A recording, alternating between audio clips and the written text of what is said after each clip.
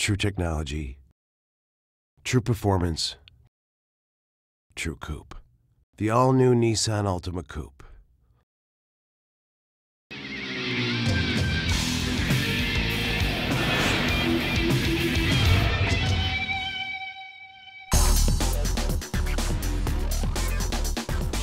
What's up there, you tech savvy on the go mobile phone viewing person? It's me, Chuck Nice, and I'm hitting you upside the head with some quick hits music news.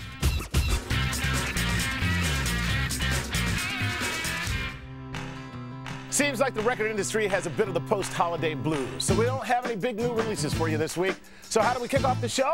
Why, with a chart check, of course. Bon Jovi slipped from the number one spot all the way down to number three, while Kelly Clarkson's My December moved just under 300,000 copies for the number two spot.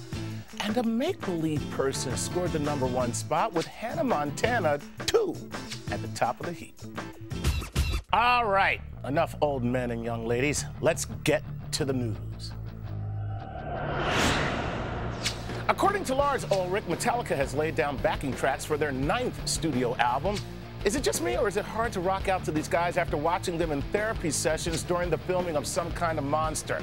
Listen, guys, metal bands don't go to therapy. I don't like the way you make me feel. Shut up, Lars.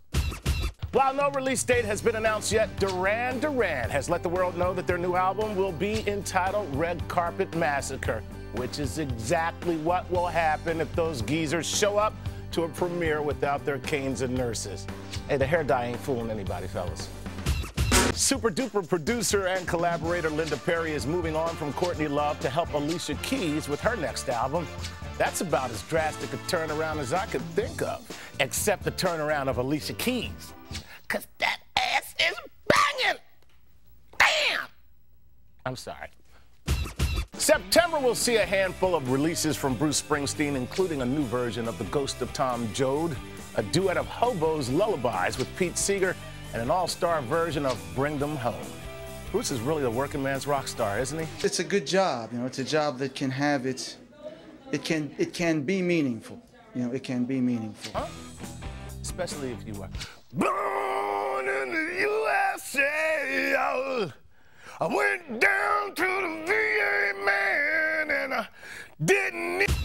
Who else would you like to see collaborate with Bruce Springsteen? Text me at 5678 and tell me what you think.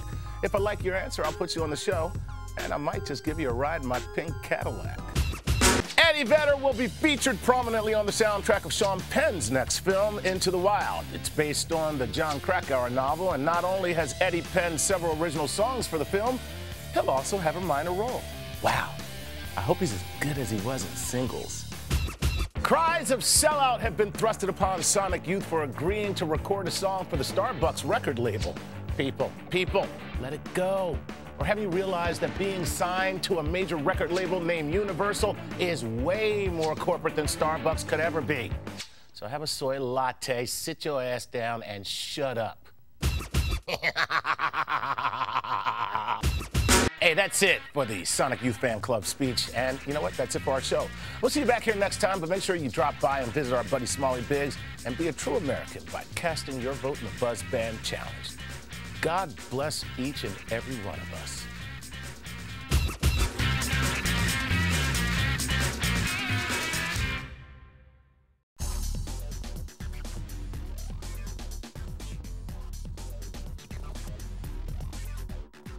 Keep up the beautiful work.